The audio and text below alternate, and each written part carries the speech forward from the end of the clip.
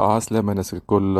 قال صاحبي بكار في قناة تونسنا في أول حلقة من برنامج الرياضي قال كلمة بذيئة غلط فيها.